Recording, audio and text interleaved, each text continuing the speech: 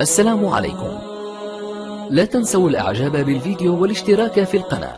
تشجيعا لنا لنستمر بنشر المزيد إن شاء الله. إن أعجبك الفيديو لا تنسى الإعجاب والاشتراك في القناة. السلام عليكم.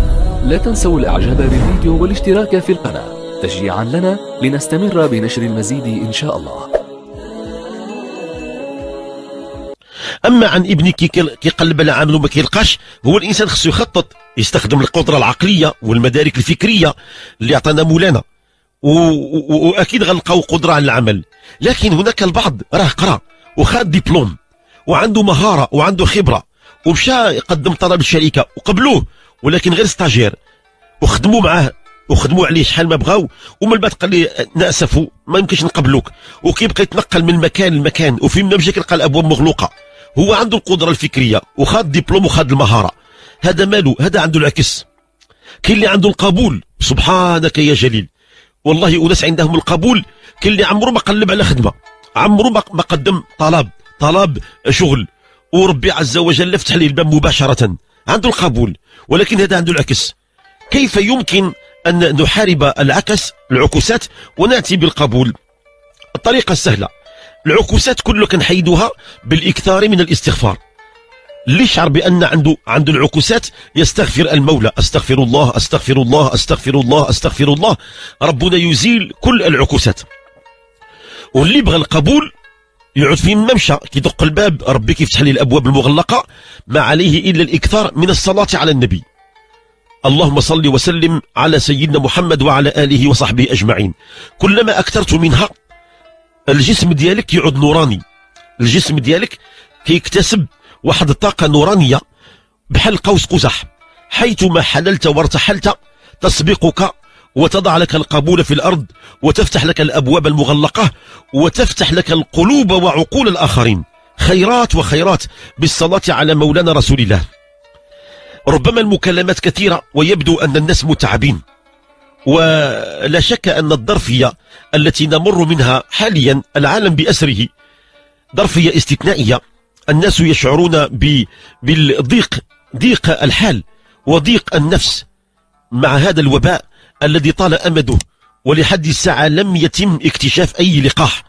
ولم يبقى لنا إلا أن نحافظ على الإرشادات الوقائية من نظافة مستمرة ومن استعمال الكمامات. ومن التباعد الجسدي. وأيضا نحرص على أننا نعمر قلوبنا بالله عز وجل. ولكن المشكل الأكبر هو في الأزمة المالية الخانقة.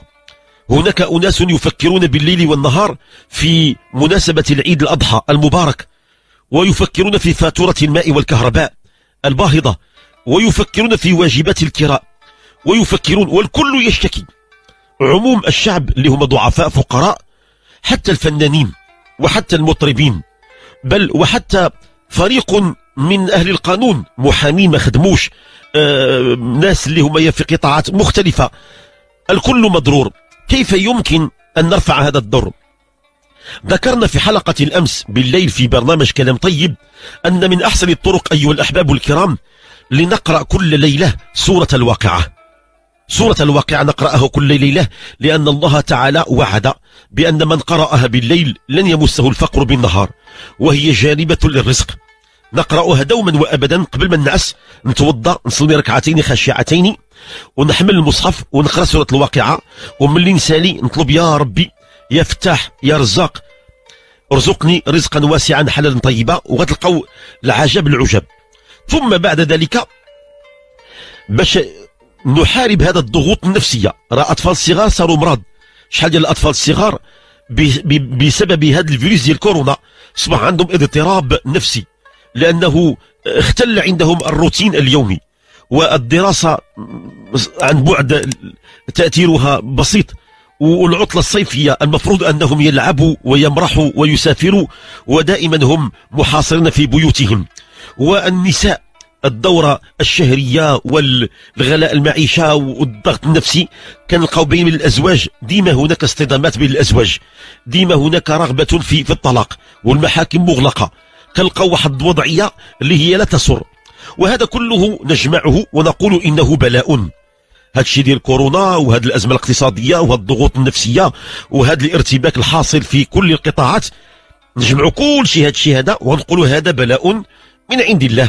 ربنا يبتلي وهو القائل ولنبلونكم بشيء من الخوف والجوع ونقص من الأموال والأنفس والثمرات وبشر الصابرين. علينا أن نصبر. اصبروا يا أحباب الله لأن الصبر مفتاحه الجنة ومفتاح الجنة مفتاح الفوز. اصبروا نصبر نصبر بإذن الله تعالى. ونتوسل إلى الله وابتغوا إلى ربكم الوسيلة. والوسائل التي نتوسل بها إلى الله تعالى كثيرة ومتعددة لكن أسهلها وأطيبها في القلب وفي اللسان هي الصلاة على النبي. نتوسل إلى الله بالصلاة على النبي. وفي التاريخ المغربي معروف ياما مرت هناك أزمات وشدائد ومرت حروب ومرت فترات سيبة وقطع طرق ومرت فترات جفاف وهجوم جراد ومرت أوبئة ياما مرت ومرت كلها بسلام فكان الناس كل له موقف إزاء هذه الابتلاءات. منهم من يقول هذا صراع مادي ومنهم من يقول هذا عقاب من السماء ومنهم من يقول ومن يقول نحن لا نريد أن نفصل في السيناريوهات. ذلك كلام في كلام. لكن نريد أن نذهب مباشرة إلى الحل. الحل البسيط الذي كان يستعمله الصالحون أيام زمان أنهم كانوا يجتمعون ويصلون على النبي الكريم.